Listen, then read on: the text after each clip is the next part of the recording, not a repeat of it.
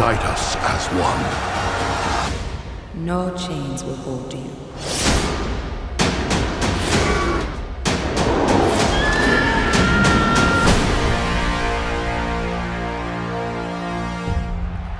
Bilal, a new breed of hero. And how did I think about it? Well, let's get into it. My name is Brandon Keith Avery, and this is just my opinion.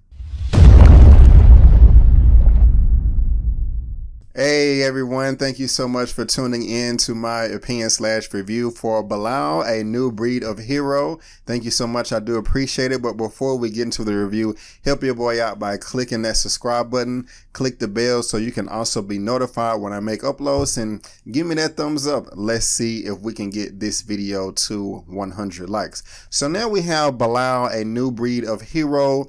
Uh, this is a pretty popular voice cast to me, and that's really what I did enjoy about the the movie. This came out originally in 2015 in different locations uh, in uh, different parts of the world and also some film festivals. It didn't do too well, but now they're really trying to make it pretty big here in the States. And it's being directed by Khurram H. Alavi and Ayman Jamal. I've never heard of them before, but they are co-directors.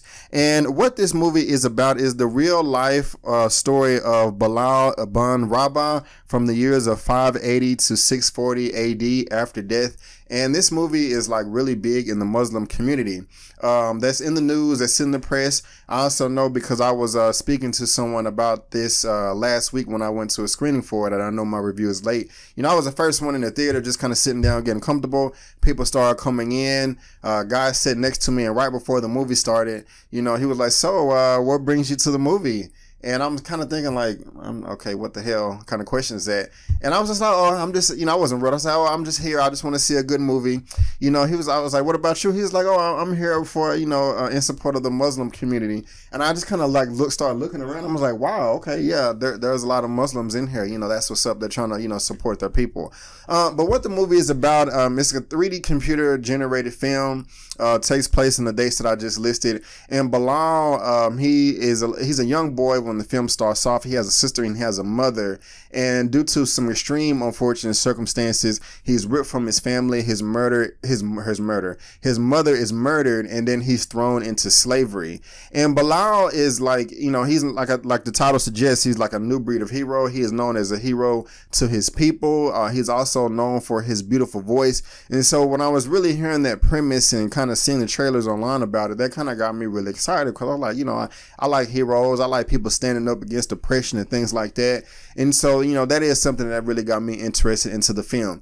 And some of the things that I really did like about it is uh, what I noticed the first thing was the sound mixing and the sound editing. That was stellar. That was top notch. Uh, I was loving that across the board. Um, if you do go to see this in the theaters, um, I think it is worth it just because like all the pops and the booms and the music and sound effects and things like that really did stand out. Uh, sometimes you go to the theater and that kind of can blend in with the rest of the environment with the voice acting, score, and all that things. But I really did feel the bass. I really did feel just all the sound mixings from every type of sound effect possible on screen. And, you know, that's just, I mean, I, I like sound, I like scores, but in this film right here, it really did stand out especially um, you know de- de- also delving within the story um, you know every uh, group of people every civilization has well not every civilization but most has somebody that they worship. And um, you know in this film they did too they had a bunch of uh, idol gods that some people did worship and uh, that was pretty greedy, pretty selfish. Um, you know, uh, was really just about material things. And when these so-called gods or idols were speaking, when they was coming through with all the sound mixing and the bass and things like that, that stood out to me as well. And I'm just kind of like, whoa, you know, that's kind of threatening there. You know, I'm kind of feeling this. You know, the film has kind of uh, portrayed a worthy antagonist, as you would say. And so that's just kind of something that got me on board. I also really did like the uh, voice acting. We have uh, Adewale Akinnuoye Agbaje. Uh, he's an African brother. I forgot what country he's from. Um, I think he's from Nigeria. If he's not, I'm so, so sorry for botching that. I should have wrote that down, but I thought I had it memorized. But we also have Ian McShane and another gentleman by the name of Al, uh, Al uh, Rodrigo. And the voice acting in this movie could not have been any better for the roles that they were trying to portray. Um, we also got, um, you know, like Adewale Adewale Akinnuoye Agbaje, um, he is voicing Bilal as the uh, as a man, but you know we see Bilal as like a six year old, as a teenager, and then you know as a grown man, and so you know we get to see him in different stages of his life. But I, I liked it a lot more when it was um, when it was Adewale, um, you know, voicing his uh, voicing the character as a man. Now uh, I just said that the the film shows uh, Bilal the hero in like different sections of his life, and that's kind of where I want to get into the negatives of negatives of the film because I really didn't get into it other than the sound mixing and all that and the voice acting and too much until he got to a man. But when he was a young boy and a teenager, you know, I was watching it and I'm just like, okay, this is this is somewhat interesting. You know, where's the story going? Uh, but the the pacing of the story was just kind of like all over the place.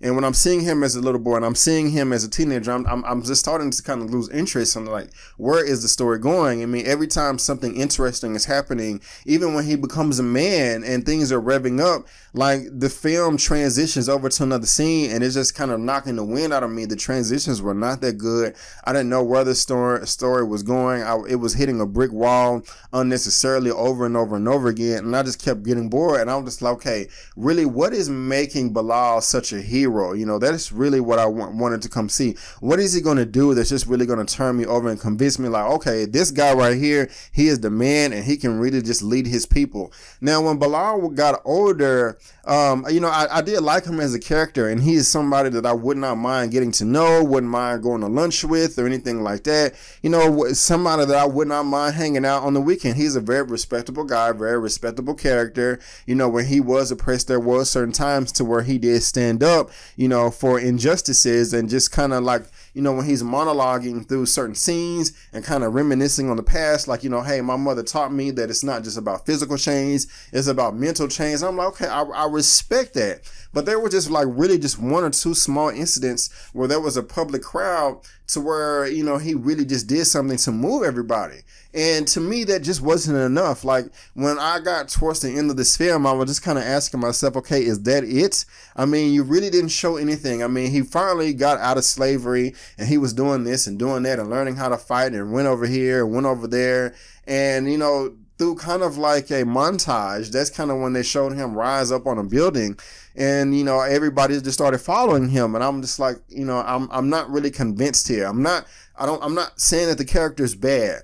I'm not saying that the character is not a hero at all. I am not saying that at all. I am not trying to be disrespectful to this real life character. But what i am saying is that in this movie they did not portray it well enough to uh, sell the point, you know, of this subtitle uh, for the titular, titular character Bilal. Um, now, towards the end of the film, there was an action film that did, um, you know, kind of get me a little excited, kind of did get me to the edge of my seat because I really do like action. But I'm thinking, okay, hey, this is going to be the scene to where he comes through with his sword, slashing everybody down, you know, I'm Bilal, you know, something like that. But, you know, that never came. And I'm just like, okay, he really wasn't a hero in this last war, this last battle either. You know, not saying anything bad about him. I, am not. I'm not. There, there is nothing bad about Bilal in this movie, but there is something wrong with the way the story is told and how they did, you know, portray um, just how everything flowed. It wasn't a smooth story. It did not flow well. The pacing was off, and it wasn't even that long. It was like an hour and 45 minutes, and I was just kind of like, okay, you know, when are we going to get to something interesting? And then the battle came at the end. It was interesting, but then I kind of just left, you know, feeling like it was a letdown. Um, if I had to rate this movie Bilal, a new breed of hero, out of a 1 out of 10, I would give it a 6 out of 10. Yes, a 6 out of 10. And that is still a positive rating. And also something I did leave out that um, also was a negative for me was the CD, the CD, uh, the 3D um, CG animation. Um, it was very clear to me that at some points in the film they did spend a lot of time on the animation to make it pop and stand out and you know um, just you know make it beautiful um, especially in the slow motion scenes but there was other points in the movie to where they didn't put too much concentration on that at all and it was very obvious to me but hey guys that's just my opinion have you seen Bilal, a new breed of hero, or do you want to see it? Have I turned you on? Have I turned you off? Do you agree with me, or do you disagree with me? Let me know in the comment section below. Let's get this conversation going and keep it flowing. If you like this video, go ahead and give me the thumbs up. And if you don't like the video, that's fine. Leave me a comment below why and still give me the thumbs up. Um, also, guys, subscribe to my channel. Um, you can also go to my website, check that out there, bookmark it. Also, look me up on social media Facebook, Instagram, and Twitter. It's right there at the bottom of your screen, and I made it very easy by providing a link to all that good stuff, good stuff down below, and especially the Facebook page, guys. It would really help me out if you just like my Facebook page. But, guys, I just want to thank you again for tuning in to my opinion slash review for Bilal, a new breed of hero. And before you go, don't forget that my name is Brandon Keith Avery, and that's just my opinion.